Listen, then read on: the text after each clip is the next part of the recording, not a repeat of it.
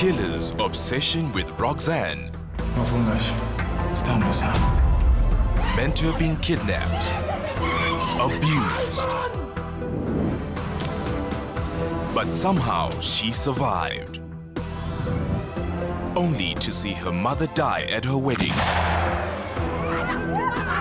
I'm pregnant. Killer's the father. Will she have to see her baby die too on the final season of Z'Bondiwe coming soon?